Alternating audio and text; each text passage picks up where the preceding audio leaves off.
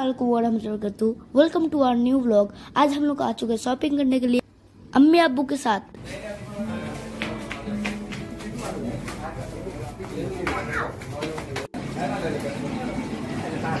बस थोड़ा सा शॉपिंग किया था क्योंकि इफ्तार के टाइम हो गया था और हम लोग मॉल से निकल गए। देन हम लोग आ गए पकोड़ा और चॉप लेने। इफ्तारी के लिए। जब तक अंकल फ्राई कर रहे हैं तब तक हम लोग देख लेते हैं आसपास का व्यू अंकल हम लोगों को गर्मा गर्म पकौड़ा और चॉप फ्राई करके दे रहा है। और पकौड़ा अम्मी ने ले लिया हाथ में देन हम लोग जाएँगे स्वीट्स की दुकान में। सो so, अभी हम लोग स्वीट्स की दुकान में पहुँच गए अब वो अभी ऑर्डर कर रहा है।